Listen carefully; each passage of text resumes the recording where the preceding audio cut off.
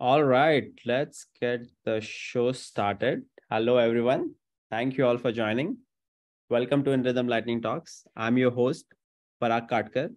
I'm the head of consulting practices at InRhythm, and we have a lot of exciting lightning talks lined up for you.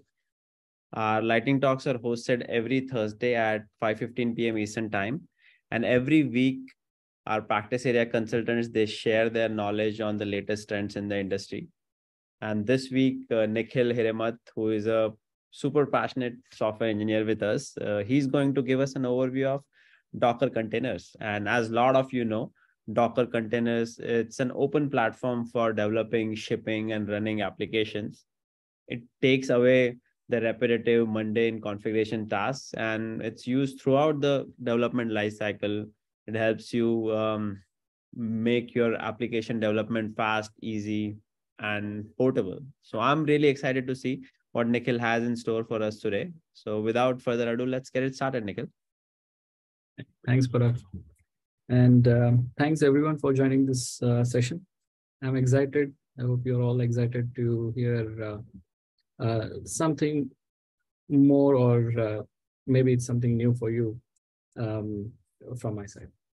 So uh, to start with, I mean, as Parag introduced, I'm Nikhil and I've been a software engineer and I've been with the organization for quite long, and um, uh, mostly focused towards backend and a little bit of uh, uh, uh CI/CD and stuff.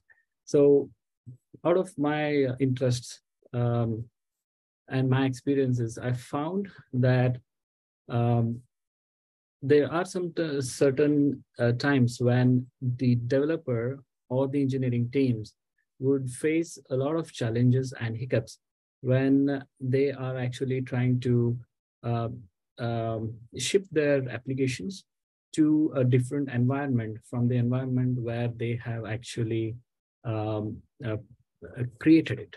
So that includes, um, you know, your uh, development, um, prototyping, and testing, and then making that piece of software available in a different environment altogether so that uh, the product is accessible by the open world and in multiple uh, uh, environments um, and servers. So that being said, uh, this session is, I would call it as part one of the containerization technologies.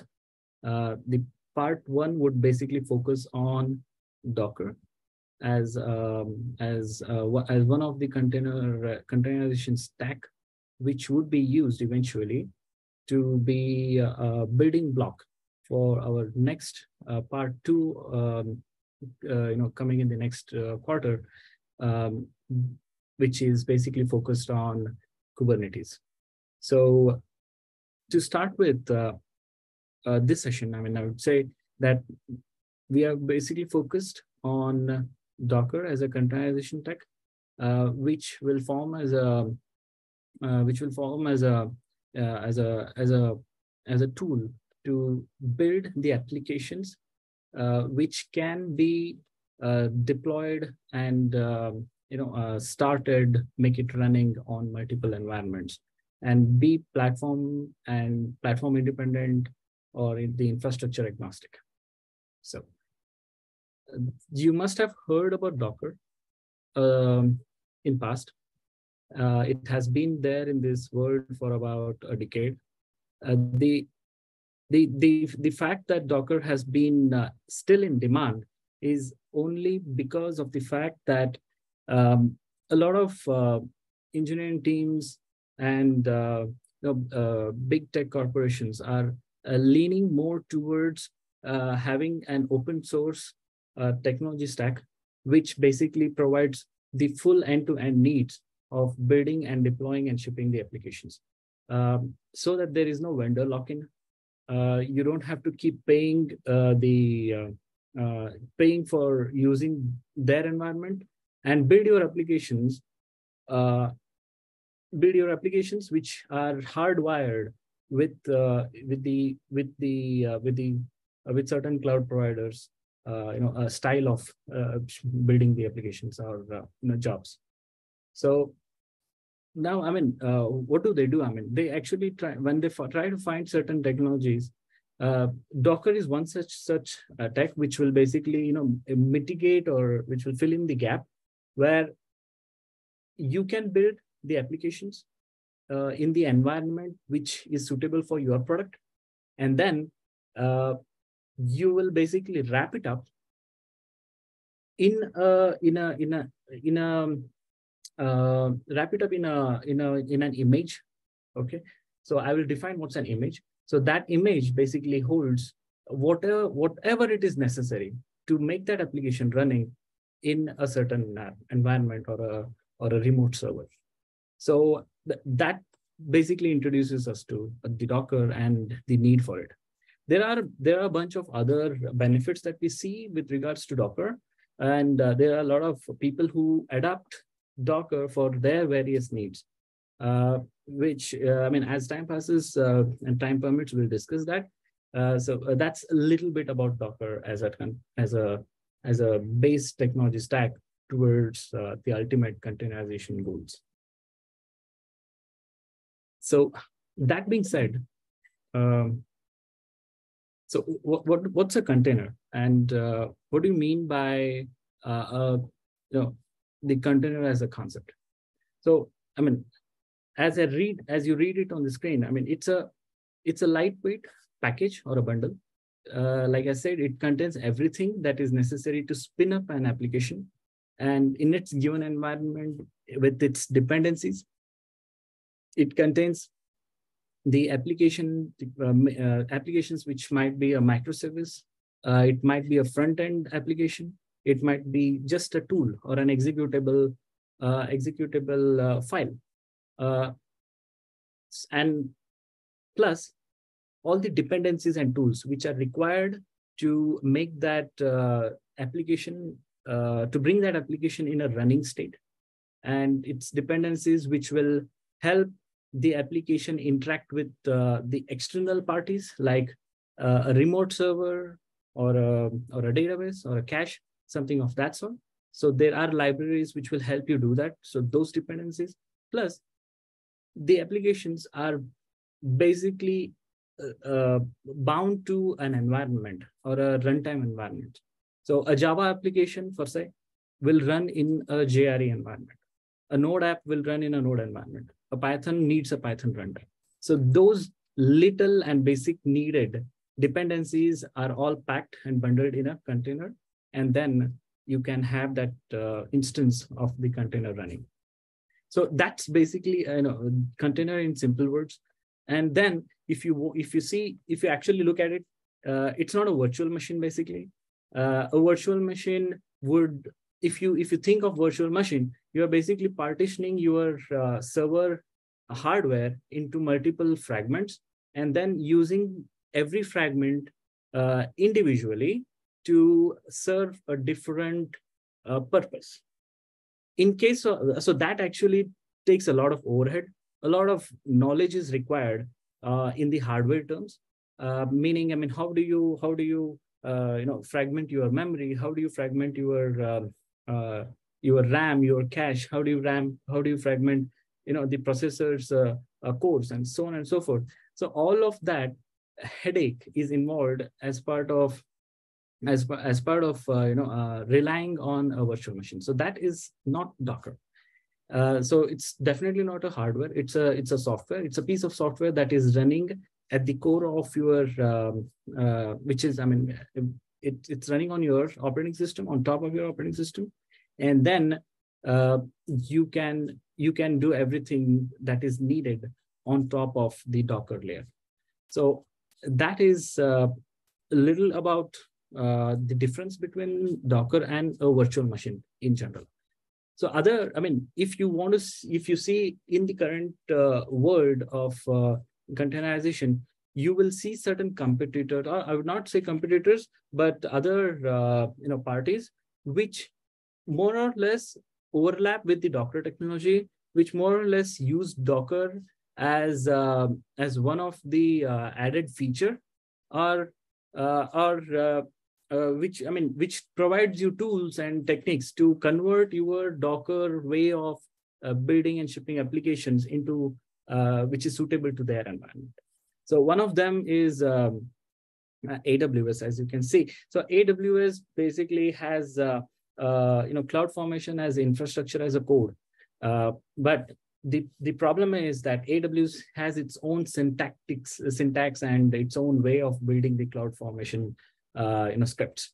Uh, you cannot directly go ahead and you know copy your your infrastructure as a code and copy it in the cloud formation and have it running so they still provide tools which will help you convert the uh, convert the Docker files, but uh, but it, it what you would eventually want to use, uh, you would eventually have to use the AWS's own uh, you know uh, way of writing the uh, cloud formation syntax. So that's one example of it.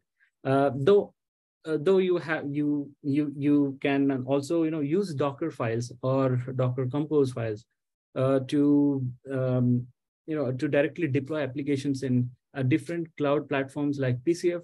Uh, PCF has recently, I mean, like in a couple of, uh, in, in last couple of years, has started supporting, uh, you know, uh, Docker as a as a means of deploying the applications. The difference you would see with uh, against a PCF environment is that PCF is an is is an application path where the user doesn't have any control over how the networking is happening and how the uh, I mean how the uh, inter-service dependencies are defined as part of your deployment mechanism itself. You might you might have ways of you know connecting with other microservices deployed in the PCF, but you definitely don't have the uh, you know way to define how my how these sequence how the applications are supposed to be deployed in a sequence what are the dependencies? Uh, what is how do i uh, connect with uh, with the different storage mechanisms? So those are all the challenges that you generally see uh, with uh, with with pcf so those are all solved as part of docker and uh, you know and you know advanced docker technologies.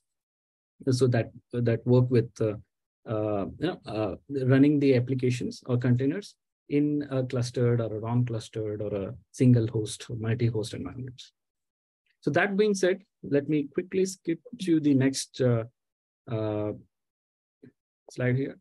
So basically, uh, all that I said earlier, uh, you have a physical server, uh, an operating system running on it, and then you have the Docker layer, which basically is composed of a Docker daemon and a Docker engine. So Docker daemon is the one which, which is basically orchestrating the commands that you are sending to a Docker application or um, to the Docker engine. And Docker engine is the one which will do the actual tasks. So let's say you want to uh, pull an image from a remote registry, uh, which basically deploys uh, an application, a microservice. You would send a command uh, to the Docker uh, to the Docker client. you're using a Docker client, and Docker daemon will orchestrate all the commands or the instructions that you have sent and then it will instruct the Docker engine to do the rest. Uh, to pull the applications or the uh, uh, the images from the Docker registry or a remote uh, hub, and then uh, you know um, and then you know spin spin up the applications. So while it spins up the containers, uh, there are a set of other tasks that you would want to do, like you would want to you would want to first you know spin up a MySQL server and you would want to um, you know define a storage space um, and you would want to create your own network uh, where only your containers are supposed to in interact and have everything isolated everything else isolated. So uh, those are the tasks that were uh, that are orchestrated and executed by the docker engine. So that being said um, so uh, we basically more or less answered uh, uh, why do we need a Docker and how is it actually simplifying our uh, needs and necessities? Um, so that I'll just skip over to the Docker capabilities here. So Docker as a whole has a has, a has an ecosystem as an ecosystem provides you with uh, uh, multiple options to uh, to to basically define your images and uh, instruct how to spin up containers, which is this part. And then uh, you have an option to spin up volumes and attach the containers with the volumes. So what are volumes? Uh, I will define it later. Uh, but for now, you can um, it's think of it as a storage space. And then you have network. Networking is basically used for uh, connectivity. You can connect, um, you can have multiple containers within the same network. And uh, you can have the containers interact within the, uh, uh, interact with other containers within the network.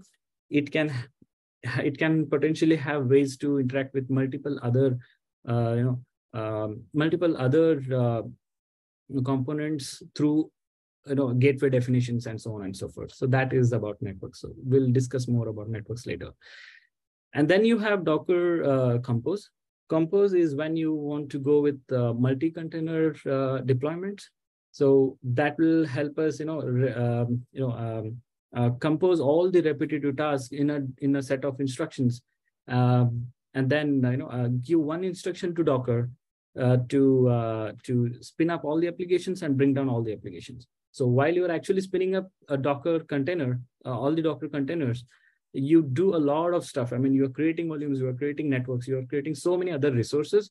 So Docker Compose basically helps you to bring down all the all the stuff that you uh, created at the time when you are uh, when you are uh, when you don't need them anymore. so that is about Docker Compose. And then there is hub and registry. Uh, the hub could be a public registry or a private registry. So every organization can have its own Docker hub. Uh, what does it do? It basically uh, keeps, uh, it's like the GitHub of Docker images. So, or a Bitbucket of Docker images. You can have all your Docker images published in a Docker uh, uh, registry or hub, where which manages the versioning, which manages uh, the uh, the the life cycle of the Docker images, and then you can have you can keep it for your documentation and sharing with multiple parties. So uh, again, I mean, Hub has uh, you know other uh, benefits which we'll discuss later, and then there is Swarm. Swarm is kind of a deprecated you know feature.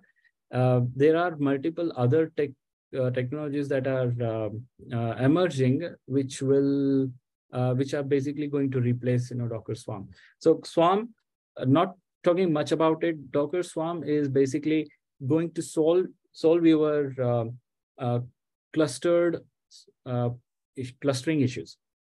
Issues in the sense uh, you can have multiple containers deployed on multiple hosts.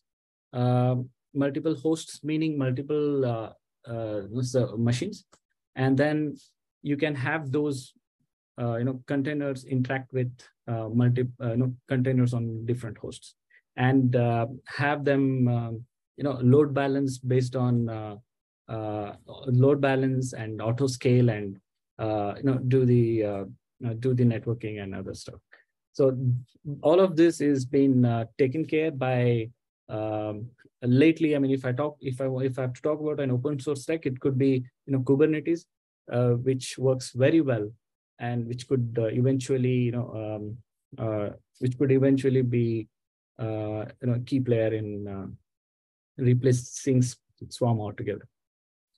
So that being said, images, right? So images are basically the blueprints or templates. So if you see here, uh, the images would contain um, uh, the baseline that is required to run your application. So every every application, as I said, requires uh, something, some environment that it uh, runs on. Uh, for example, a microservice, a Java microservice will run in a J, in a Java environment. So for us to uh, uh, spin up the application, for example, a Spring Boot application, you need to have a JRE running in the uh, in the operating system, right? So for that, if you uh, on the on the right hand side at the bottom, I have uh, shown you a simple Docker file. So this should be more than enough to spin up a container. Basically, the first line indicates that you need an open JDK or uh, a JDK version 11.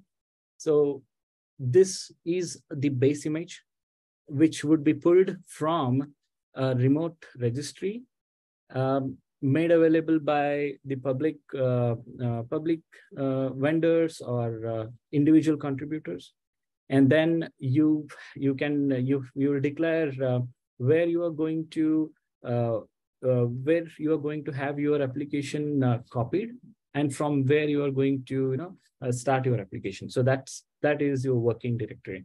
So you can copy your executables in a working directory by the copy command. And then after that, you will have to instruct the container to uh, to let it know that what is the entry point to this macro uh, to this application. So there should be a way to start an application. So you have to tell the container that okay, if you execute this command after downloading the images and copying the executables in so on uh, in, in a given directory, the, execute this command to start the application. So that is basically a command or an entry point. Uh, so generally, uh, you will uh, see the difference here, which is either it could be a CMD or a command, or it could be an entry point. There, both are um, both more or less do the same stuff, but entry point generally, you know, gives you um, an added flexibility to to uh, to to pass the files or executable files like shell script to uh, which will do something more than just executing uh, the commands. So let's say if you have to do something, uh, some some more activity before you spin up a microservice, so those activities can be declared as part of your shell script. So that shell script would be declared as an entry point here. So the last command would get replaced with the entry point in this case. So uh, going back to our uh, the bullet uh, the points here. The images, as you see, uh, are um, you know are are static data. It's static because as long as the image, as long as the code and its dependencies are not running, they're all static. So the image gets uh, you know comes into life when it is started in a container. So as long as it's an as long as these images are uh, not running they are uh, basically static. They are non-active. They are not serving any business purpose. So that's the reason images are called static. And there is no application generated data in within it because it's uh, it's not running basically. Uh, and then what happens is i mean every image like you saw it from the example on the right hand side. So every image is uh, uh, you know ha has multiple instructions um, declared in a Docker file. So uh, I mean to to introduce you to the Docker file. Docker file is a is a is a text is a text document. If you if you have to imagine it, it's a text document like a Word doc or something, uh, where you are basically going to use certain uh, uh, certain set of instructions or lines to define how your image is going to be um, built. And then at the end, you are going to uh, you know, mention some of the additional uh, activities that are supposed to be done once your image is built. So that those all of those instructions are defined in a Docker file. So that's Docker file for you. Um, now, when you are when we are talking about these individual instructions, individual instructions are, is, are, is going to become a layer when you are building an image. So if you look, if you look at the image above, so the base image is an Ubuntu. Ubuntu is an operating system. So now on top of Ubuntu, I have to install Java. So when I install Java on it, it becomes the layer at the bottom, which starts with D3, A1, F33. And when Java is installed, I need to, you know, um, I need to create a working directory. So if I, if, if maybe at the backend, Java might be instruct, uh, you know, uh, writing some commands like mkdir work in rhythm. So that becomes a next instruction here, uh, which uh, next layer in the image. So that uh, it that's indicated by C220. So that becomes a new layer on top of it. So likewise, there could be multiple layers per instruction. Let's say you are defining a network or a volume. So that also becomes an instruction here. So there are certain layers which where uh, for, against which you are seeing zero bytes. So those are the layers which are already created, meaning that to uh, I mean every time you build an image, you don't want to keep installing you know uh, Java every single time. So if Java is already installed, then certain layers are uh, rather than rewriting it or recreating it, Java, I mean, Docker just decides that, okay, this is cached and I have it already. Let me use it as it is. So that's why you will see that that, that particular layer could have, uh, could be showing only zero bytes when you are actually building a, a Docker image. So I will basically show you an example of it. Um, so, okay. So this is the Docker Hub that I was talking about. So let's say I have uh, uh, this image, which I have published to the uh, Docker Hub. So it um, uh, so the this image is for uh, a microservice called Payment Data Services. So now, if you see every image, like I said earlier, the Docker Hub provides a way of versioning the images. Those versioning versions are identified by tags. So like you see at the um, uh, at the bottom here, the V1 is the first image which was published uh, four days ago. And uh, uh, this one, the last image was the wall test. It is the, it is the one which was uh, published recently. So this way you can, um, you can, you know, you can tag your application, tag your images to clearly define that, okay, we have a version upgrade. And if you want to work on our latest image, you have to only pull the latest tag and then uh, uh, and then you can spin up the containers based on that image. So now, if you click on this image, uh, this version, you will see that these are the image layers, right? So now, if you go at the bottom, uh, if you go, uh, sorry, if you start from here, uh, there are a set of commands that, doc, that Docker executes when you are building an image. So if uh, if you look at it, it is basically uh, setting at line at at layer seven. It is setting Java environment uh, uh, in a path which is Java home. So it doesn't occupy any memory, so it is setting zero bytes against it. Let's say it has it, it is taking an update to to update the softwares. This is going to consume 16 MB. So likewise, you when you are at the time when you are actually uh, downloading Gradle, it will take, it is consuming 118 uh, uh, megabytes. So later on, when I upgraded this, uh, this particular uh, uh, payment data services to be lightweight, I removed certain layers, right? And then which were not necessary. I didn't, I, I was not interested in installing Gradle. So eventually the size of this particular um, you know, one image was reduced to 279 MB from like like 400 MB or something. So much many layers have been removed here, which were not required. Some of the uh, some of the uh, commands here or layers are repetitive, so uh, which were being cached, which were already being carried out in the previous uh, image building activities. So those are indicated by zero bytes, and uh, you know so on and so forth. So this is uh, now, this is basically the size of an image. Uh, the uh, the the uh, the megabytes that you are seeing on the on the on the on the right side are basically the size of individual layers. But when you are building the images on local, you will see that those images are being cached. So coming back, uh, like I said, so if you if you want to build an image, so basically uh, this is again a different application which I have, which is called Checkout Orchestrator. It's a simple app. There is nothing much in it. It just exposes one endpoint. And if you see here, there is one endpoint which is just returning a static uh, uh, HTML text here. And then there are uh, a couple of other endpoints which will fetch you the credit cards and uh, new credit cards and some cards from the file.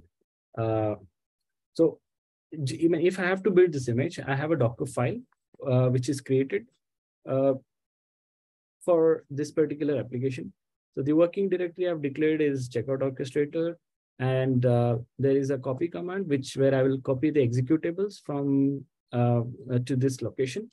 And then I want this endpoint, this application or microservice to be available at the HTTP port 8081. So that's a declaration that you can make in the Docker file.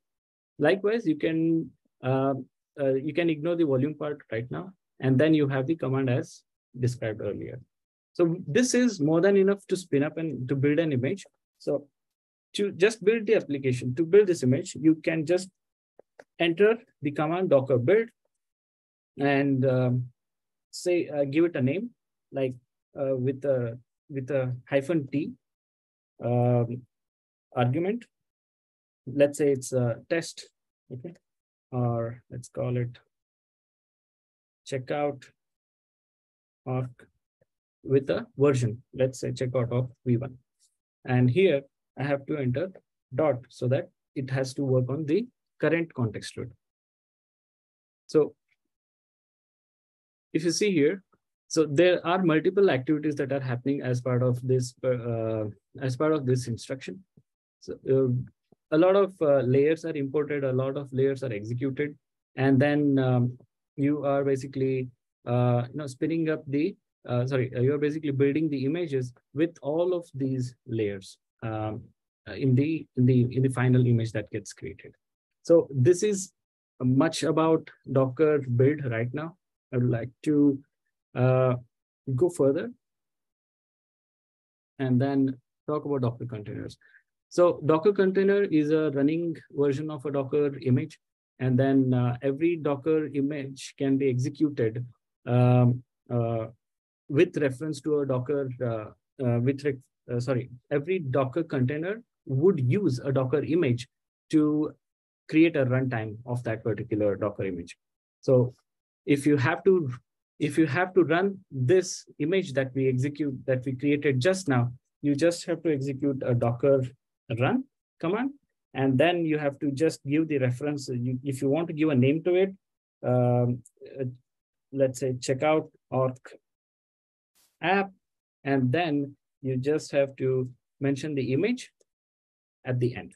So this should be more than enough. If you have to expose a port, you can declare a, you can map the port uh, that is within the container and map the port on the host side to be connected to the port that is running within the container. So you will see you will see more of it later when you run the application. So this is basically this is a little required to run the container. Although this application uh, is not starting because uh, I have to set a environment variable like a server port. So I can give, I can pass a server, I can set a server port here with an E, uh, with an E argument, dash E argument. So this should be like 8081. And this should be, I mean, this will basically spin up a, uh, a Docker uh, uh, I would say that it, it should basically spin up a uh, Spring application within a container. So, so that is, uh, so we, I will basically you know, show you the uh, fully running container later as we as we go as we go uh, further. Um, we spoke about Docker Hub. So Docker Hub is basically uh, as I showed you, image uh, it, it, maintains the images, image versions, and the image layers all together. So again, uh, we spoke about Docker Hub earlier, and then then we are here at the volumes and the mounts section. What are volumes? Volumes are basically a storage offering by the uh, Docker technologies. Uh, volumes basically can be uh, either within the container or volumes can be uh, sitting outside of the container, which could be uh, the host machine. So let's say you have a server and you your server, uh, you want to, you know, uh, you want to keep your logs um, copied into this, into a remote server where you want to investigate the logs later. That is when you would use the bind mounts, which are a different, uh, you know, flavor of volumes. So those will be useful for you to, you know, either uh, look at, uh, either uh, uh, uh, copy the logs or stream the logs, so, and you know have them used for audit or what whatsoever. But in case of volumes, you can volumes are directly attached with the containers. Uh, and then you know its life cycle is managed by the container you since its life cycle is managed by the containers you don't know where the location of the volumes volume is uh, because the volumes are residing within the container, uh, within the docker uh, uh within the docker's uh, you know kernel uh, that being said what are the two offerings that they are giving as part of you know, volumes so you have named volumes and you have anonymous volumes. You know, so there is a slight difference between in each of these. You know, in case of anonymous volumes, the life cycle is still attached with the containers, uh, and uh, uh, say meaning that I mean, if you if you spin a container, if you start a container, the volume is created with it, and when you shut down a container, the volume is deleted with it. So you can if you if you spin up new container with the same image that uh, that was used in spinning up a container earlier you will not get the data back so the data retention is not possible in case of a in case of the in case of uh, anonymous volumes. So uh, and then generally i mean the uses of uh, the uh, anonymous volumes are when you want to you know have your executable files uh, protected and not modified by uh, anyone uh, you would want to use anonymous volumes because uh, when a container is down the file is deleted. When a container is running the uh, the anonymous volumes the files inside the anonymous volumes are protected so that is mostly the use cases uh, the use case of anonymous volume or you can also use anonymous volumes for for maintaining the uh, the data on flight, which is maybe uh, uh, for caching and other purposes. And then you have named volumes. Named volumes are something uh, which are which are uh, uh, which are shared between multiple containers. Let's say you have you have you have spinned up a container, though the lifecycle is still attached with a container. When you are going to spin up a container two with the same image, that data can be accessed by the, uh, the container two. So the container once created a named volume, copied some files into it. Then your container two can, when it spins up, it can use the, uh, you can, it can still access the data that is residing in the named volume that was, which was created by the container one. So that's basically the, uh, the uh, scope and the use of uh, named volumes. There might be different use cases like the logs and temporary data uh, that is shared between multiple uh, between multiple containers. Let's say you are load balancing yourself, you sorry auto scaling and load balancing your applications. So you need the data to be shared uh, between the containers. Let's say you have payment data services one and instance two. So both the instances are working on same credit card or a card. Then you, if you have saved that card on file somewhere in the in the in name volume, so both the containers needs needs to have the access to that particular file so that they serve the, uh, the, the, the so that the data that they are returning is idempotent. So that is uh, about name volumes. So we spoke about bind mount. Bind mount is uh, for so is on is basically used for um, uh, is not is basically used in the development environments. It's not it has very less scope in production environments because uh, you don't you don't you don't change the data when it is actually when your containers are actually running uh, you don't uh, you don't copy the files from your host machine into the into a running container remotely uh, so that those are not ideal use cases uh, i this more or less you know bind mounts are used for uh, you know, log sharing if you in a development environment if you want to hot swap the source code you can do that with bind mounts and so on and so forth so that is much about bind mounts. Okay. So these are the, uh, I mean, if you have to create a, an anonymous volume, you have to just uh, either um, you can do it through the Docker file, like as like I showed it to you earlier, um, this is an anonymous volume, okay, where your executable files. So this file, uh, the, the executable jar, which we copied it into the checkout orchestrator lib directory will be protected as part of this anonymous volume, right? And either, or you can basically declare it along with your VM arguments uh, when you are um, running a Docker container. So, sorry, uh, with the dash v command. So, and then you have name volumes.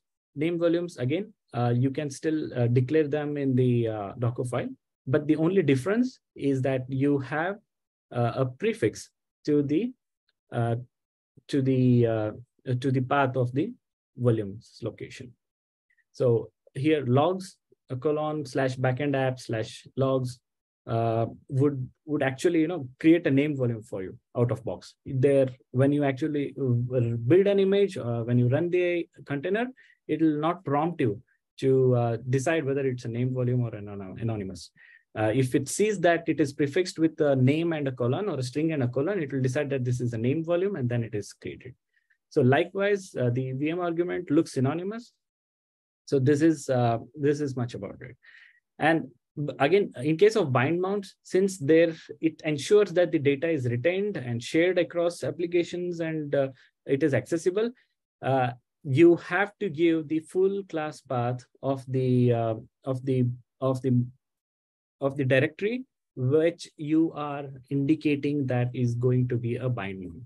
In this case, since uh, uh, I mean if you if you have to do it, you have to mention um, uh, you know full class path users, you know your uh, your uh, your your machine name, and then your complete directory path where the where you have created a, a file or a folder which is directly mapped to uh, a volume in the inside the Docker container.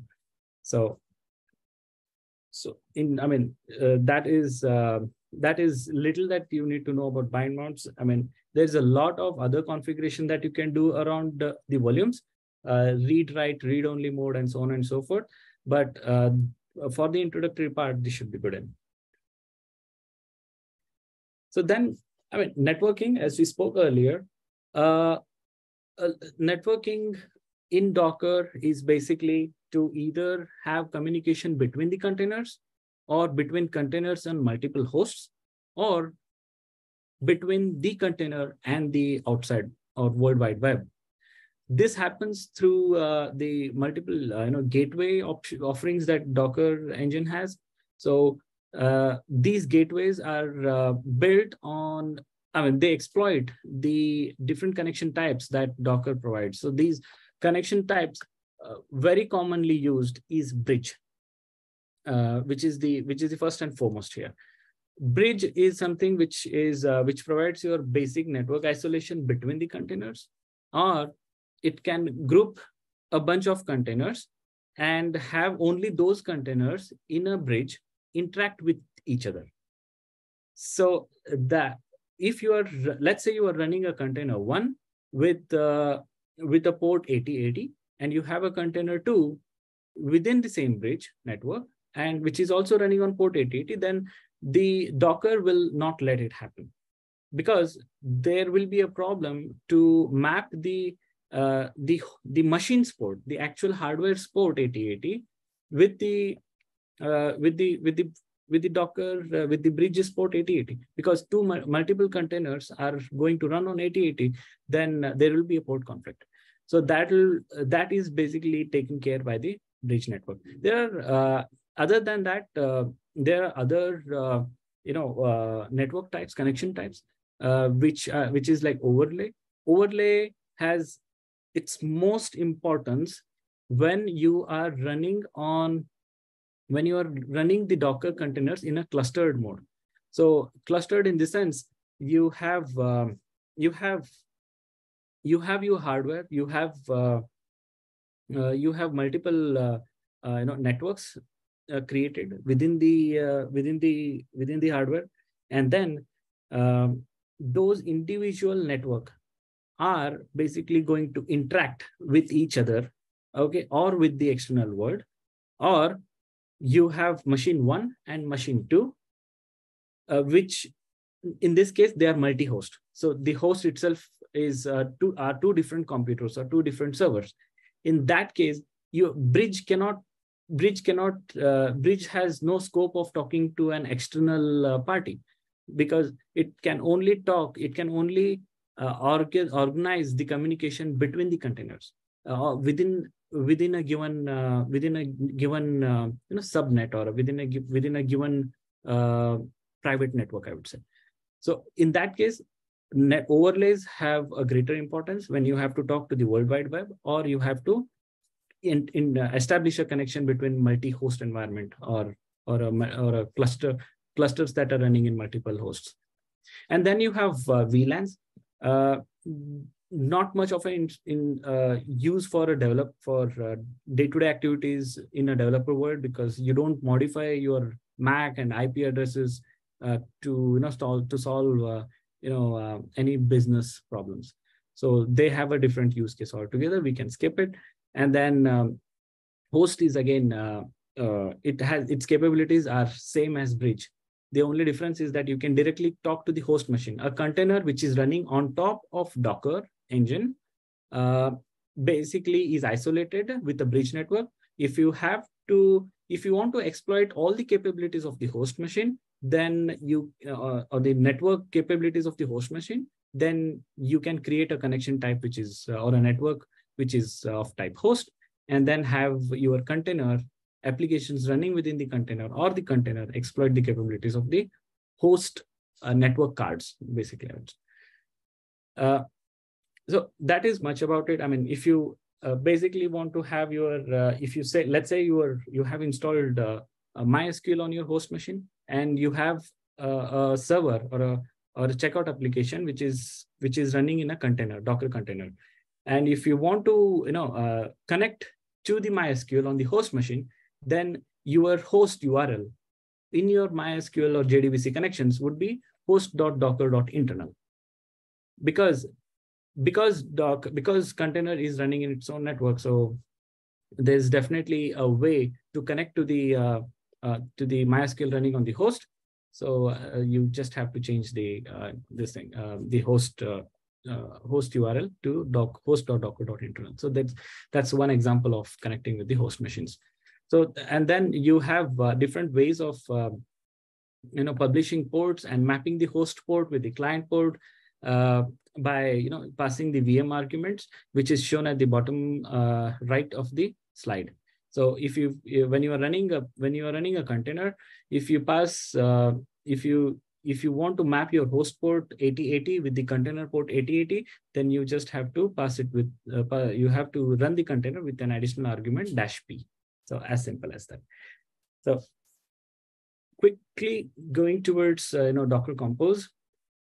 So you know why do we uh, why do we need a Docker Compose basically? So let's say I have uh, three applications here, like I was showing it to you earlier. Uh, we have three applications here, right? And uh, these, sorry, uh, okay. There are two microservices and one database server, Okay, that makes us three applications. So one is a front-end orchestrator. Okay, so front-end orchestrator is going to uh, you know uh, take the request for uh, a card API or a new card API, and then it's going to make a call to the um, uh, to the downstream through a service called cards handler. Uh, and in this case, the downstream is a is a different container, which is payment data services in this case, right? And payment data services is again a different microservice, which is a, which is a Spring Boot application. And in this case, payment data services also exposes an endpoint, which is uh, cards slash new. So what it does is payment data services basically uh, makes a call uh, to the to to the external Faker API, which is a public endpoint, to to fetch some, some random you know, cards, credit cards. So I'm making a call, which is outbound call from a container to the internet gateway to the Faker API, which will fetch you like five cards uh, at a given at a time, and then you are going to fetch it and then save it in the MySQL database through our repository interface.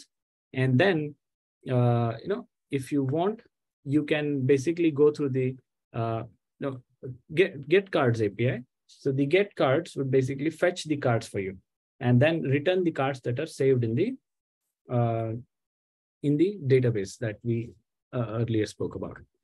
So now, if I have to make all of these three applications working, then I have to spin these components individually. I have to execute Docker run commands every single time. Like you saw it here, I was, uh, I'm running this command. So I'm facing some problem uh, when I'm trying to expose a server port, right? So I can basically solve this problem uh, by just you know, providing it a right command to to to run uh, to run with a uh, with an extra argument. Okay, so here if I run this one, it will definitely start uh, uh, st start the application, right? Uh, but the problem would be that it will, I have to change the app name here so that it will start, right? Okay. So here it starts the checkout application, right? So now if I go ahead and refresh, uh, if I go ahead and access the endpoint here, let's say localhost 8081 and test. So it should render me the, the simple HTML. Right. This call, this is this response is coming from a front-end container, which is called a checkout orchestrator. Right. If I have to make a call to the to fetch credit cards, so it gives me an error because we we don't have our dependency yet deployed. This app, as I said, is going to contact or connect with the payment uh, payment data services, right? Checkout orchestrator will make a call to the payment data services, which will fetch the, sorry, which will fetch the, uh, sorry, okay, which will fetch the uh, cards from a remote uh, fake APIs, and then it will save it in database, and then it returns. In this case, our service is, uh, I mean, not deployed. So what I have to do, again, come back, okay, then um, okay, let me go to your checkout.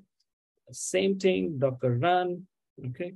And then port, I have to expose the uh, host port, map it with the container port, and then um, give it, give a, you know, declare a server port, right? And then indicate it like this, so on and so forth, and give it a name here, okay? Payment data, okay, payment data services, give, give it a short name for save time. And then, uh, then you will have to, you know, uh, basically, uh, you know, use the use one of these uh, uh, images that I've already created here, right? So let me use this one. So for test. So this will spin up a backend server for me. Okay but, and then it is expecting some additional URLs like MySQL URL and so on and so forth.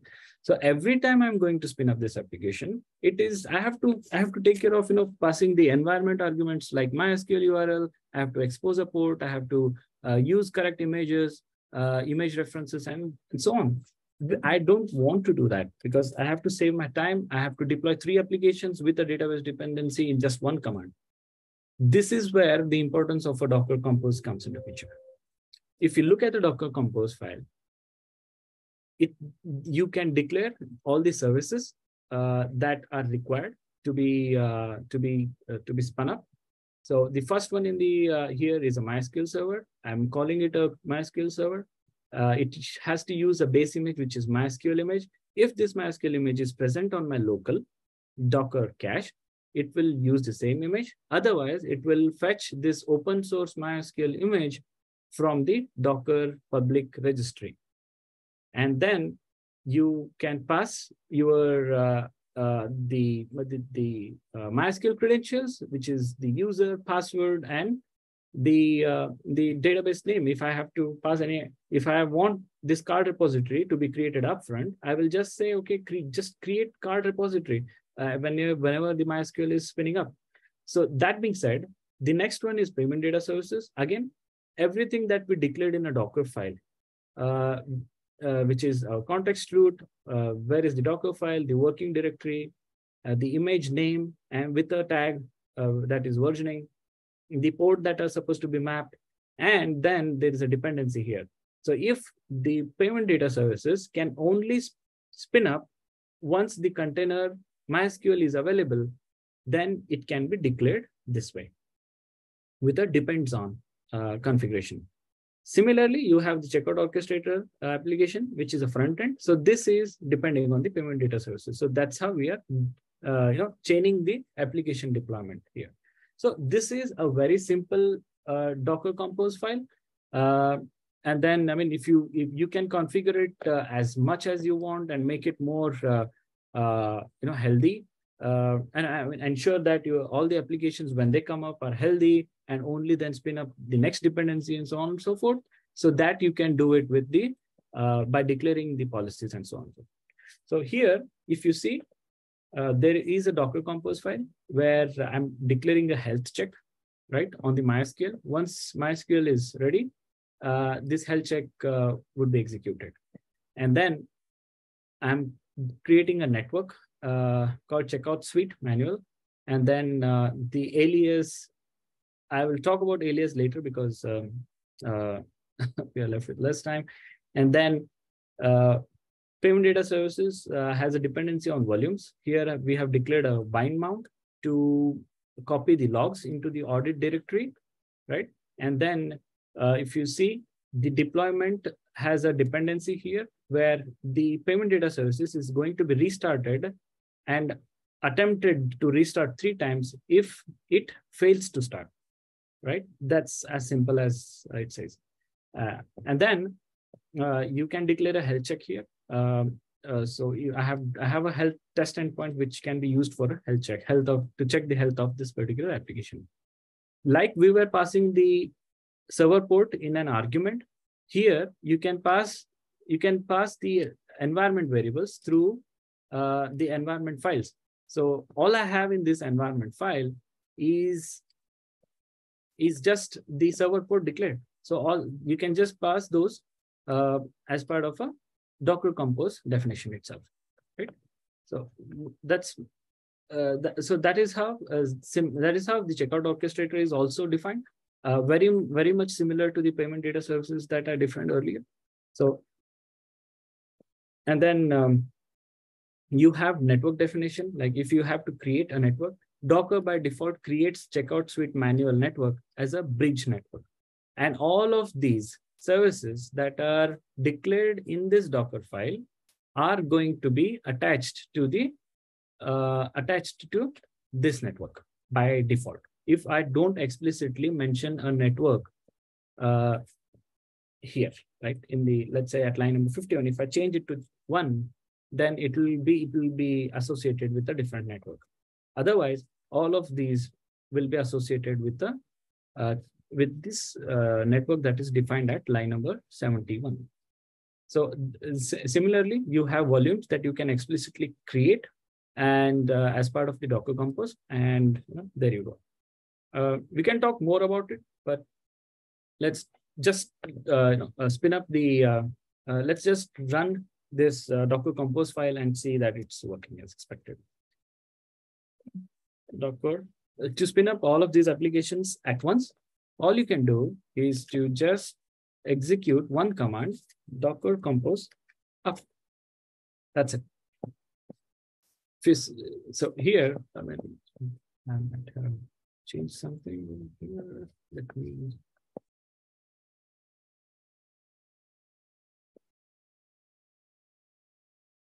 Okay.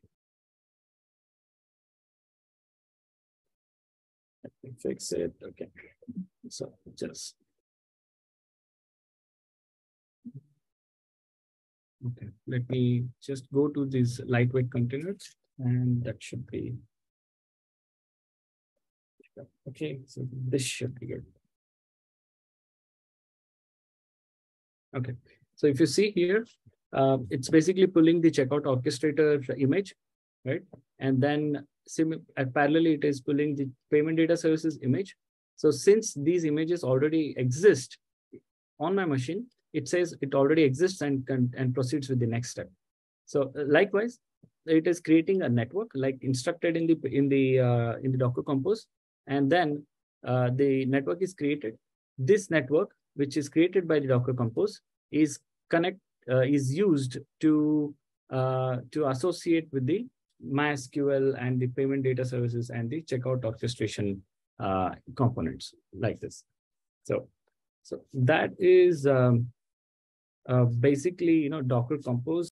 Okay, so with this, uh, uh we can see that Docker Compose is uh, fairly simple to deploy a multi-container application, and uh, all the all the components can be deployed at once with just one command, which is Docker Compose up, and we can also bring down all the services and networks with just one command.